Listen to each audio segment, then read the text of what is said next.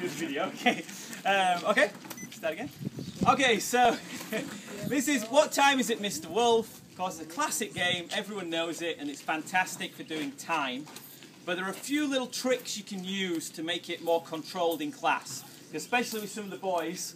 Uh, they'll try and go a bit crazy with it. So for baseline lesson six, if you're in Tanzania, uh, what time is it? So everybody goes to one wall. Go over there. Go to one wall. Go, go, go, go, go, go, go. Sorry, the cameras are all pointing the wrong direction. All over here. Okay, okay, go, go, go, go. Okay, excuse me. And you choose one student to be the Mr. Wolf. Can be my Mr. Wolf. Okay, okay. Now, we've got a lot of a lot of students here, but this is like an average class size, isn't it? You've got 42 here. That's like an average size.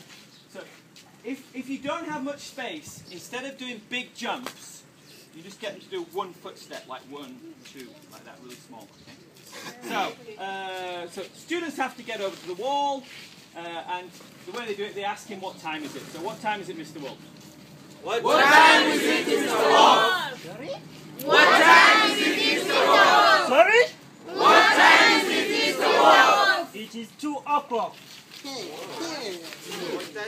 Okay, so what he was doing good, he was saying sorry, and it gets all of you saying it. Because if you don't do the sorry part, then only the Genki kids say it and the shy kids don't say it. But he was doing sorry so many times that everybody said it, so that's very important. One thing, when you're moving, I want you to count. So you go one, two. Get extra practice, okay? One more time, go is it, Mr. Wolf? Sorry? What time is it, Mr. Wolf? Yes? What time is it, Mr. Wolf? It is 3. One, two, three. Okay, good. Now, I'm going to give you, uh, can you move this way just for the cameras, the camera? One more tip. Now, very often the boys will start, as soon as they hear the number, they will just go, one, two, three, and go crazy. Uh, so to stop that, we're going to add a little bit more discipline in. Okay, so we're going to do it this way. I'll just do it this time, okay? So everybody ask me. What time is it, Mr. Wolf? Sorry? What time is it, Mr. Wolf?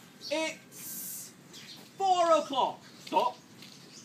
Four o'clock. Is that safe? No. no. Yes, four o'clock is safe. safe. Yes. Dinner time is dangerous. Yeah. Yeah. Very much. So four o'clock, is that safe? Yes. Four o'clock. Four steps. Go. One, two, three, four. So just adding in that extra little step you might need if you've got a crazy class. So just slow it down, and they can only move when you say go. And of course, when you say dinner time, they have to run back there. Ask him. What time is it? Sorry? What time is it, Mr. Wolf? Sorry? What time is it, Mr. Wolf? It is 1 o'clock. Wow. So ask him, is it safe? Ask, ask them, is that safe?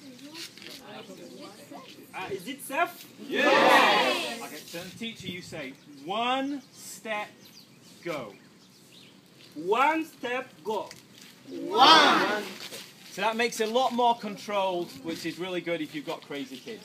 But everyone's good here today. Now, I know. Thing, look at this game. Now look at these guys. They know dinner time is coming soon. So the adrenaline is pumping, and that's why we do these games. Because the adrenaline gets you more excited, and it's, the language becomes a lot more easy to use. What time is it?